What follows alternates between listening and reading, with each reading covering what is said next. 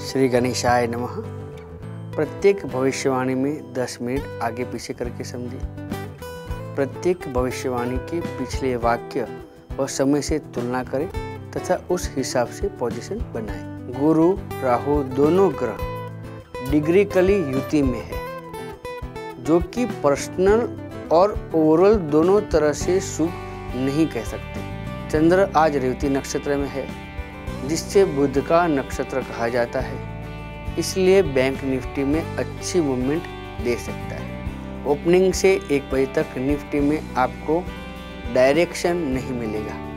इसलिए छोटे छोटे मार्जिन से एंट्री एग्जिट करते रहे। एक बजे के बाद निफ्टी आपको अपसाइड जॉबिंग करवाएगी और अंत में थोड़ी डाउन आएगी। इस तरह से आपका दिन पूरा हो जाएगा।